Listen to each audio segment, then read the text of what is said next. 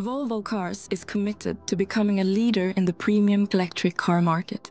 And to achieve this, we're investing 10 billion Swedish kronor in our car manufacturing plant in Torslanda, Sweden.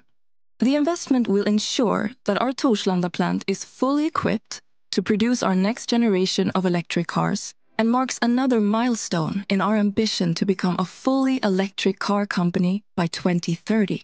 With the investment, we will introduce new sustainable technology and manufacturing processes in the Torslanda plant, including mega casting, a new battery assembly plant, and full refurbishments of our paint and final assembly shops. The introduction of mega casting, a manufacturing process whereby a large number of parts is replaced with one single large aluminum casting, will benefit us in many areas and help us achieve our goal of being a climate neutral company by 2040. Basically, the process goes like this. Molten aluminium is forced into a high pressure mold. It solidifies as it cools and is then dipped in water to speed up the cooling process.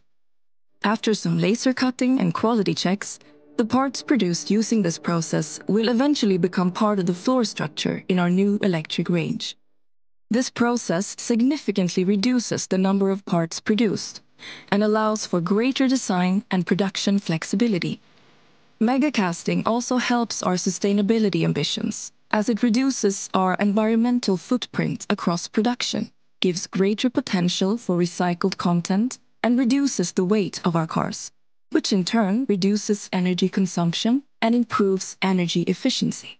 Our new battery assembly plant will assemble battery modules into complete battery packs. It's similar to the process for today's plug-in hybrid batteries, but on a much larger scale. By investing in our paint shop, we will secure the capacity needed for our future volumes, and importantly, it will reduce the environmental impact of the paint process. Alongside the renovation at the plant, we will be investing in facilities that improve working conditions for our 6,500 employees at the Torslanda plant even further.